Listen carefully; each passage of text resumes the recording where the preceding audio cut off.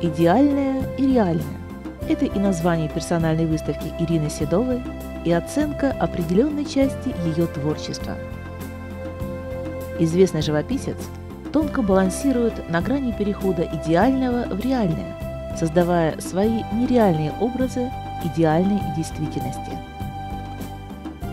У художника свой чувственный, романтический взгляд, уходящий далеко к сотворению мира и прослеживающий развитие жизни в дымке дальнейшей перспективы будущего. Идеальное нереально, а реальное не идеально. И все же встречаются личности, которые кладут свою жизнь на поиски идеальной красоты, идеальных отношений, стремясь достичь совершенства во всех сферах земных и духовных.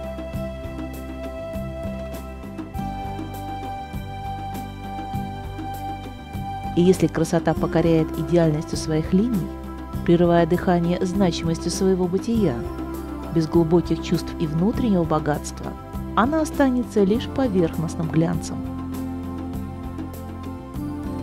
Окружающая нас реальность борется за свои права, объясняя логикой противоречий наше построение образов и понятий.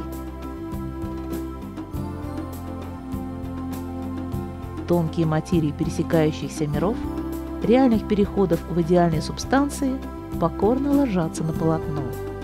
Кисть мастера помогает образом занять свое место в картине, обрекая их на дальнейшую самостоятельную жизнь.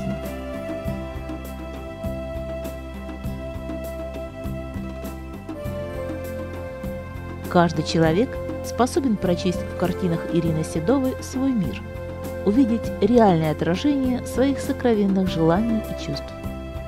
Художник, противопоставляя древним мифам современные взгляды, интригует зрителя, предлагая ему самому разобраться в своих чувствах, определиться в своих стремлениях к идеальному совершенству или смириться с реальной посредственностью.